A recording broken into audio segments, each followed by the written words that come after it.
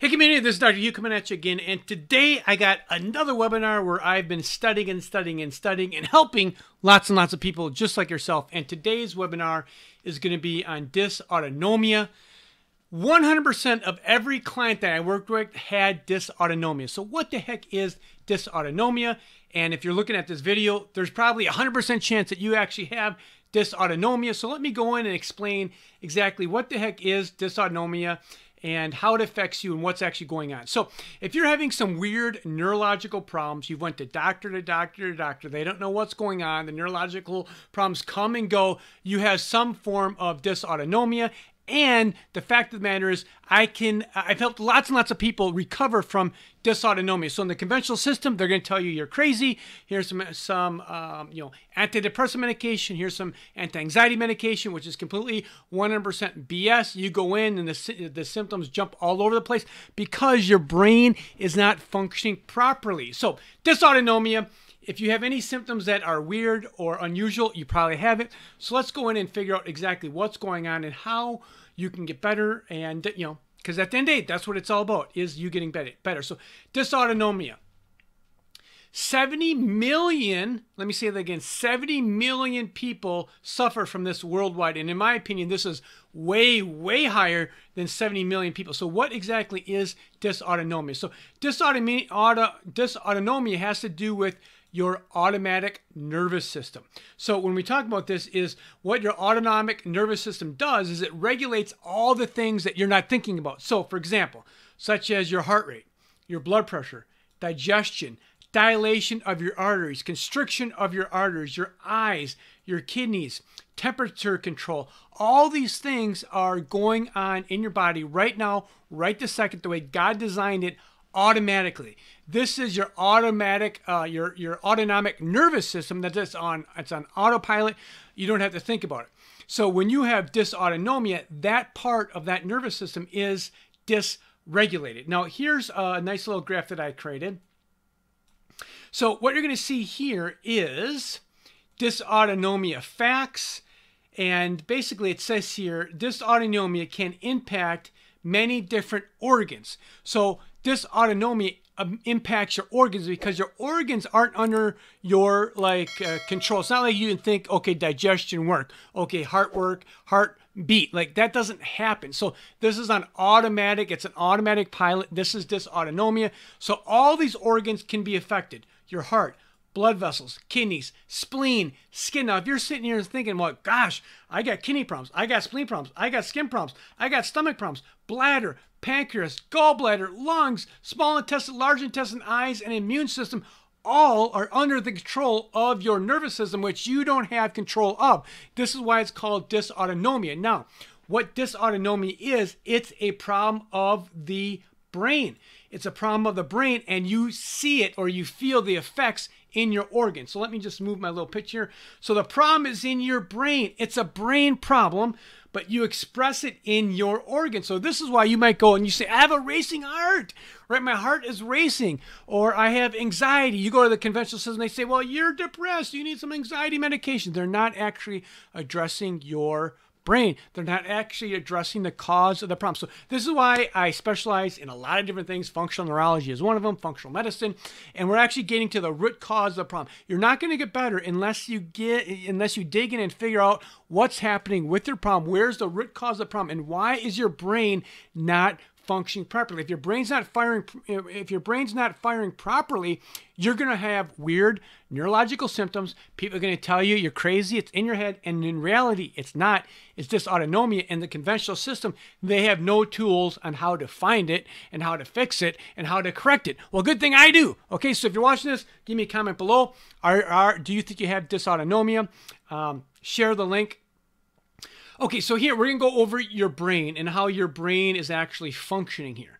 So what you're going to be looking at, because we're talking about a brain problem, dysautonomia is a brain problem. So I'm just going to kind of circle this whole area right in here.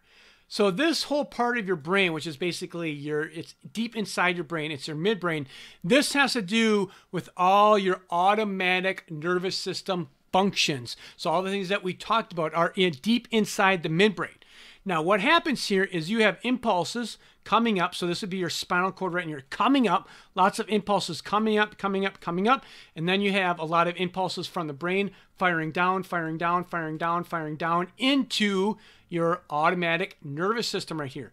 So if this is not functioning properly, if this area is not functioning properly, you are going to have weird unexplainable neurological neurological conditions that no one understands. You're going to go to neurologist to neurologist, and they're going to give you a pill for this and a pill for that, and no one's going to get to the root cause of the problem. So lots of healing takes place in this midbrain right in here. Okay, so let me give you a quick orientation. So this right here is your midbrain, right? That's where all your autonomic nervous system is, the, the things that just work autopilot. This is your jaw, and this is your spinal cord, and this is like what we call your cortex.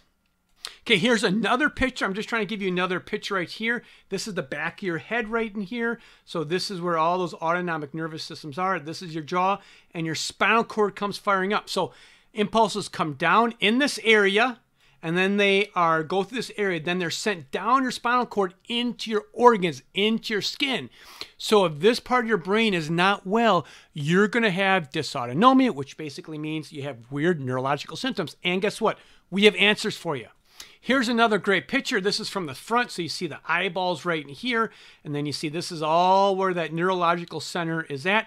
Just to kind of give you a reference point in here. When we talk about this area right here, this area right back in here, which is right back in here, that has more neurons. This little area here that's like uh, the big the size of your fist called your cerebellum has more neurons in here than your whole entire brain. Your whole entire brain has more neurons right in here, and this is the gate center.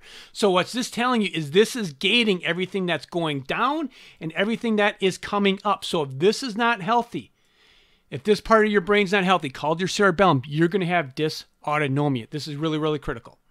So these are some symptoms that you can have if you have dysautonomia, rapid heart rate, orthostatic hypotension, chronic fatigue, anxiety, temperature regulation, shortness of breath, irritable bowel, gas, bloating, diarrhea, dizziness, and migraines. These are just to name a few of the problems you can have if your automatic nervous system is not functioning properly.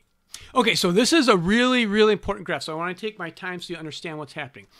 Your nervous system is developed into two components. So we have right here, we have the parasympathetic nervous system, and that's the green car, and this is relax and digest. This is what we want. We want to be relaxed. We want to be calm. Parasympathetic is relax and digest you're just taking a nice stroll in your car. You have the coffee there and you're drinking some coffee. At least I think that's some coffee there. So that's what we want. We want the parasympathetic nervous system, which is relax and digest. And then we have this over here, which is your sympathetic nervous system, which is your flight or fight, right? So your fight or flight parasympathetic nervous system. So this is driving fast. This is your go, go, go. You're scared, you're alert, you're freaking out. This is what happens now when you have dysautonomia, there needs to be a balance between the fast car here and or the slow car here and the fast car. There needs to be a balance. Now, what happens when you have dysautonomia? Your sympathetic nervous system right in here, this portion is up regulated. So you're always go, go, go. You're on the fight or flight. So fight, like you're going to stay there and fight, or you're going to you're going to fight or you're going to flight right? So you're going to fight or you're going to run away. That's pretty much what that means, right? So when you have dysautonomia, this part of your nervous system is dysregulated. And when I say dysregulated, it's upregulated. Okay, so let's go into this on what the parasympathetic system does. So um, it constricts your pupils, it stimulates saliva production, it slows your heart, calm, it causes your airways to constrict, so you're not like uh, so you can just breathe nice and calmly. You don't you're not hyperventilating. It stimulates your stomach activity. It stimulates your gallbladder. It stimulates your intestines to start digesting food. It causes your bladder to constrict, right? To be healthy. Now, if you have a sympathetic nervous system, it causes your pupils to dilate. Now, why would your pupils dilate? So, if I'm running away from something, right? I mean, really close to the camera, if I'm running away from something, a tiger, my pupils, my eyes are going to dilate, right? They're going to dilate, this is going to be a sympathetic storm. This is a fast car. It's going to inhibit saliva production because when you're running away from the tiger, you don't need to have good GI system, right? You're talking about survival here and increases your heart rate. So you have a sympathetic tone. You are your increased nervous system. You wake up with a beating heart. You wake up with um, sweats. You get in a crowded place and you get anxiety. Noise and lights bother you, right? It relaxes. It relaxes your airways because if you're running away from a tiger, your airway needs to open up. You need more air in there. It inhibits stomach activity. It, it, it inhibits gallbladder it inhibits your intestinal system and it secretes more epinephrine and norepinephrine, which is your stress hormones, and it relaxes the bladder. So a lot of people as they get older and they start and they get stressed out, they get incontinence. Why? Because when you're running away from the tiger, you don't need a full bladder. You want to actually pee your pants, get rid of the water, get rid of that weight so you can run a little bit faster. So this is what's happening when you have a dysautonomia condition is the sympathetic, the fast part of your nervous system is overfiring. It's working too much, and then you're getting all these symptoms. Now, what are some possible causes of this? Getting to the root cause of the problem. There are many, and I'll state this again. 100% of the clients that I work with have some kind of form of dysautonomia. Some people have a lot, or some people have a little. Some people have a lot of dysautonomia. So here's the things that you got to look for. Do you have low vitamin D? Do you have a poor GI health? How's your cell membrane health? Are you taking fish oils? Are you taking phosphatidylcholine that helps the cell membrane? Have you had concussions? This is a huge one out there. Have you had concussions? Have you dinged your head? Have you seen spots? Have you gotten a car accident or you got whiplash? Because that causes trauma to your brain, and over a period of time, that will cause dysautonomia. Let's say in your 50s and you had a concussion when you were in high school playing sports. That concussion from when you're in high school to today could be affecting you could be contributing to your dysautonomia. Did you take antibiotics? Did you take Levaquin? Did you take Cipro? Did you take the fluoroquinolone toxicity drugs? Do you have food sensitivities? Do you have uh, gluten sensitivity? Do you have a dairy sensitivity? These three are critical down here. These are what I call low hanging fruit. Do you have low, low blood pressure? Do you have low blood sugar? Are you clinically subclinical anemia, meaning that you can't be diagnosed with anemia, but you don't have optimal iron levels. So, for example, if someone has low blood pressure, if you have low blood pressure, blood pressure is not getting to your head.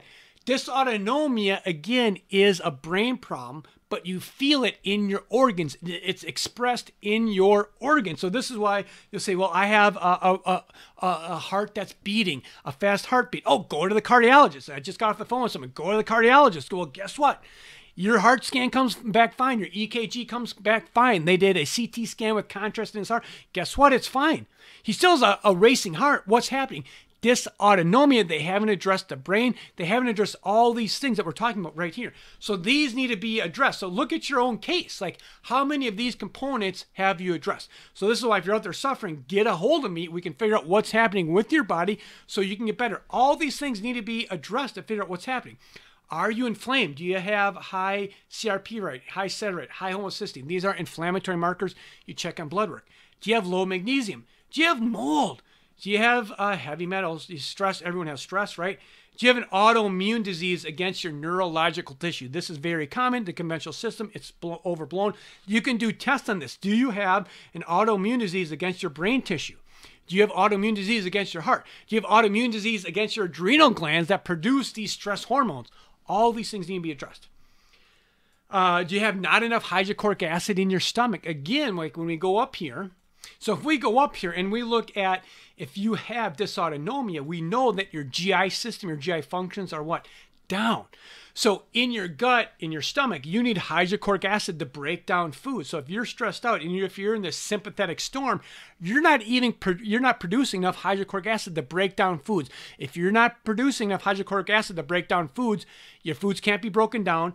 Then the foods start to ferment. You can get small bacterial overgrowth. And then what happens is then because these proteins aren't broken down, they get in your bloodstream and cause more inflammation. So it's a big snowball effect. If you have one thing, it just continues to get worse and worse and worse. This is why you need to look at your case and figure out what's the root cause of the problem. And then, like an onion, you start to peel away the onions and figure out what's happening.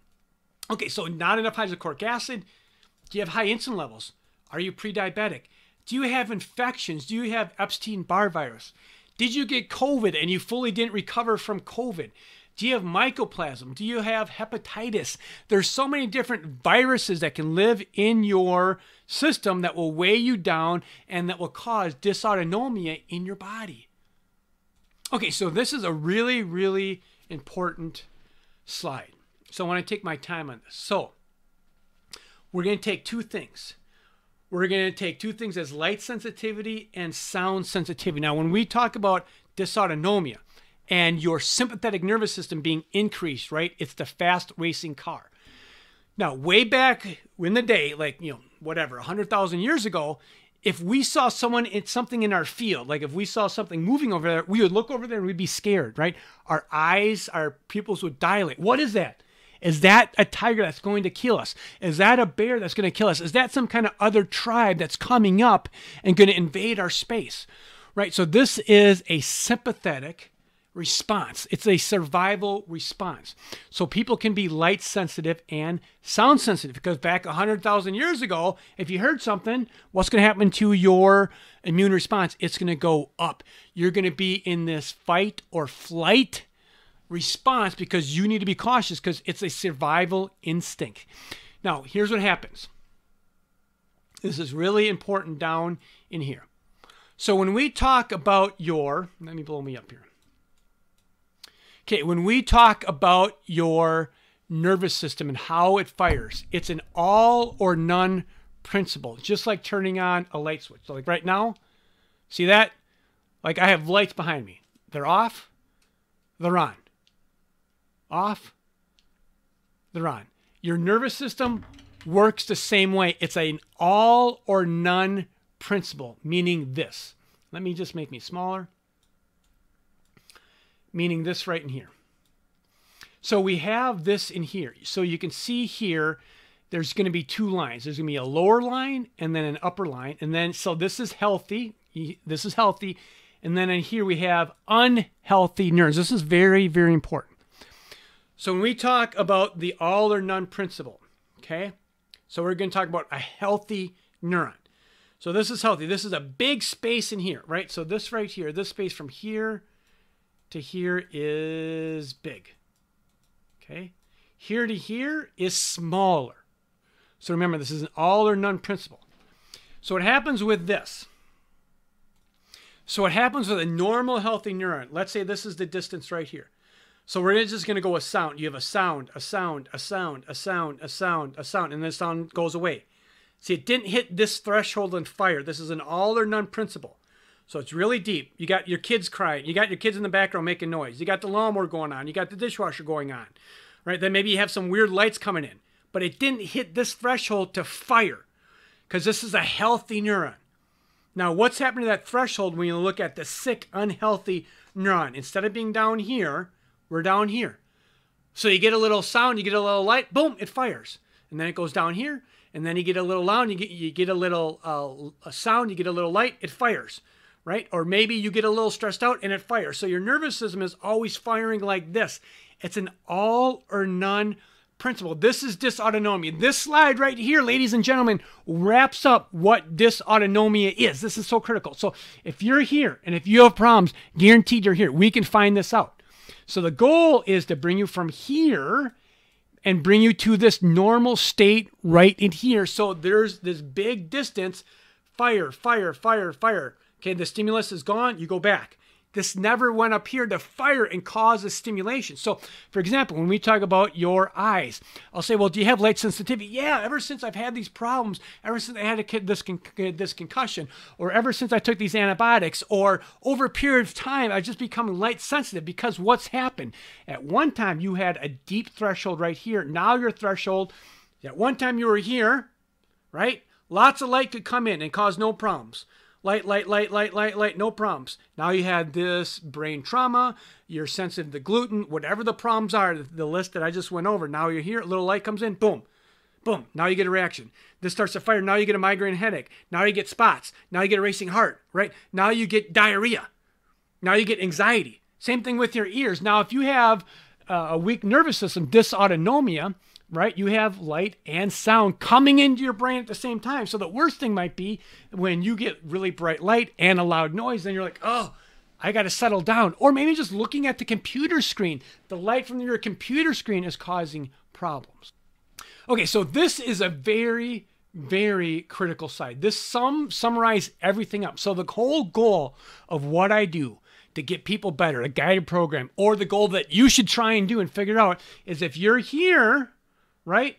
Poor threshold, you want to go right here to good threshold.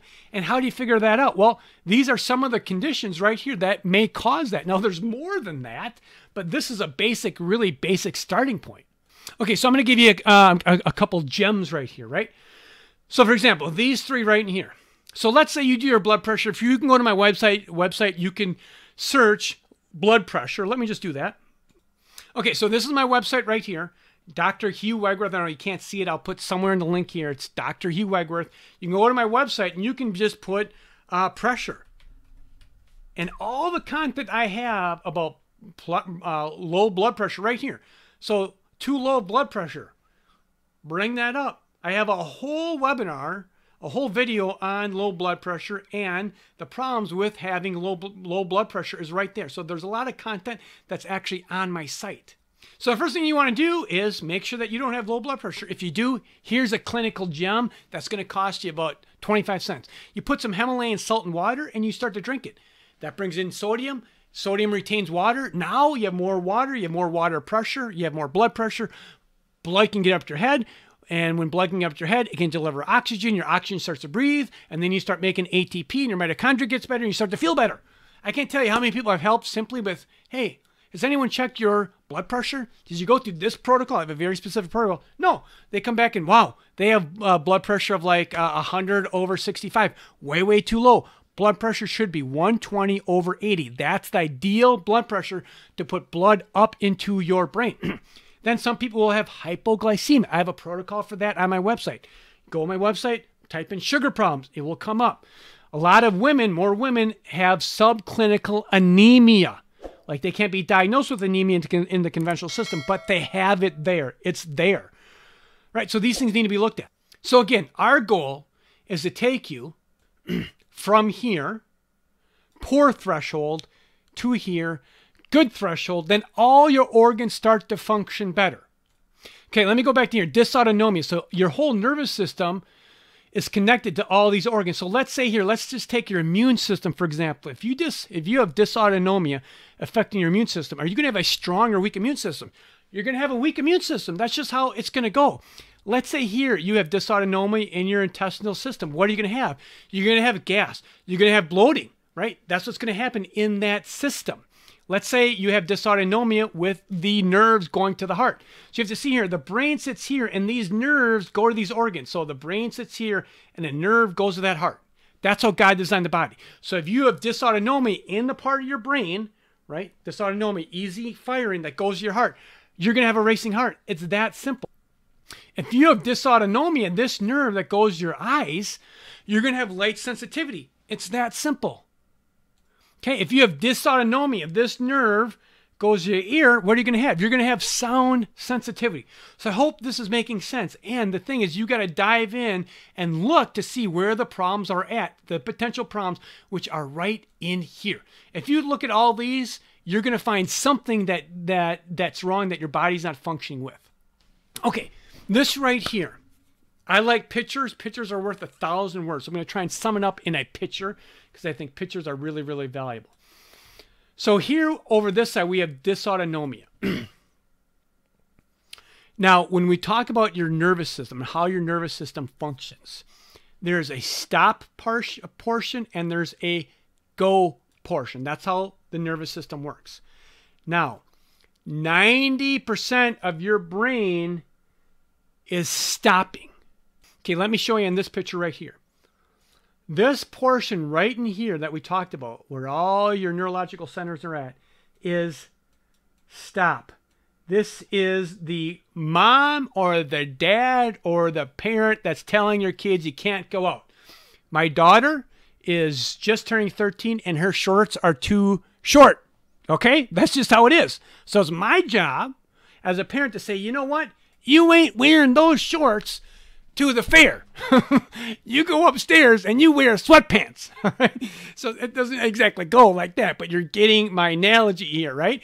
This is the stop zone, right? This stops the things, the neurological impulses from going up too much and going down to all your organs too much. So this is a stop mechanism.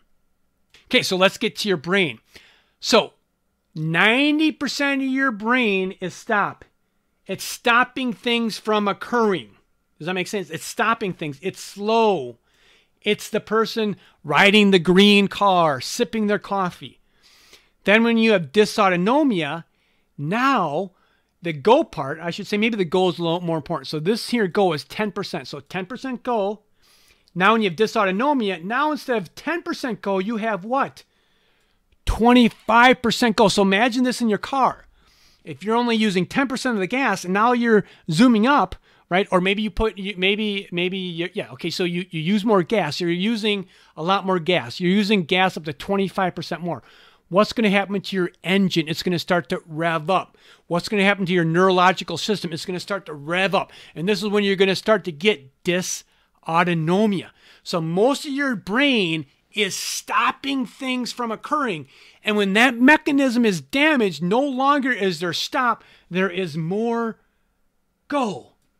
And when there's more go, what happens to your symptoms? You get weird neurological symptoms that no one can explain because no one knows what's going on. Here's a drug, you're crazy, good luck, and you go to doctor to doctor to doctor. And in reality, you have dysautonomia. Now, this took me, I've been practiced 23 years. I've been studying neuro- neurology, functional neurology, probably for seven years hardcore. It's taken me a long time to connect the dots and to present it in a way that you can understand this. Okay, so let me just do this one more time because some people need to have it explained more and more. I'm the same way. I need to listen to something a hundred times. So your nervous system, 90% is stop. So most of your brain up here is saying stop. It's the parent saying, you know what, Gracie, those shorts are a little too uh, short. When you can see your butt hanging out, they're too short. That qualifies as no go. That's a stop right there at the door. Don't pass go. Don't leave the house. And if you have a boyfriend come over or something like this, she's 13, so she doesn't have that. I'm going to get my shotgun out and go and get sweatpants. Okay. So this is 90% stop. Gracie's not getting out of the house. Now, what happens is when you have dysautonomia, instead of a 10% go, so another analogy would be only 10% of Gracie's outfits are actually going to pass my inspection. Only 10%. That's normal. One out of 10 outfits is appropriate. The only ones that's appropriate is the sweatpants and the sweatshirt. That's it. okay? So now you come over here now what's happening when you have dysautonomia, now 25% of her outfits are passing. The ones where her butt cheeks are hanging out are starting to pass, right? So what happens is it's revved up. The nervous system is revved up, and this is when you get all these weird neurological symptoms. So with that being said, what the heck do you do? Well, if you want some specific help and guidance, go to my website, schedule a call, a Zoom call. I help people all over the world. But this is what you need to look at. You need to look at all these different things right in here. And I can tell you, these things right here, these things right here, the three things anemia, low blood pressure, and low blood sugar need to be addressed and they need to be figured out. Now, also, if you've had any concussions, that sets your brain up for problems in the future. People say, well, I didn't have any problems right away when I had the concussion, or when I got dazed, or when I got knocked unconscious. Or I say, well, uh, people say, you know what? I, I didn't get in, I never got in, in a, I never had any concussions. Well, were you in, a, were you in any car accidents? And this happened today. The guy says, well, now when I think about it, like I was in a car accident, but I didn't get a concussion. Well, what happened? Well, my chest was all blue. And this is like, you know, he's my age 50, and this happened when he was in 20. He said, I said, he said, well, my chest is all was all bruised. I'm like, okay, well, was that from the seatbelt then? He's like, no, he didn't have a seatbelt on. That was from his chest hitting the steering wheel. So did you that did that cause trauma to his brain? Yep. Did he have problems right away? Nope. He didn't have problems right away. This is in the future. Now he has major dysautonomia, he has balance problems, he has anxiety, he has sweating, he has a racing heart. This is when he's 50. 30 years later, and 30 years of life, 30 years of toxins, 30 years of poisons, and he had mold exposure too five years ago. So all these things add up to someone not doing well. So these are the big ones right here. So these three right here, and if you had concussions, and then you got to clean up your diet. Do an autoimmune AIP diet, autoimmune paleo diet. Go on my website, search AIP, put that in the key term, put AIP, put autoimmune paleo. These are all the things that need to be looked at and addressed to see if you actually have any underlying causes for causing your dysautonomia. Here's what I know with 100% certainty that right now, if you have some weird neurological problem, you have dysautonomia. And with that being said, no one's actually been able to figure out what's going on because no one's had the training that I have to figure out what is actually occurring in your body. You can get well. God designed us to be well. You deserve to be well. Everyone deserves to be well. The, conven- the conventional system is not helping people. If I cut my arm off, I'm going there. If you have a chronic condition, you're not going to get better, or you would not be watching this video. Contact me. Get on my website. Get the content. And remember, is where there is help, there's hope. Take care. Bye bye.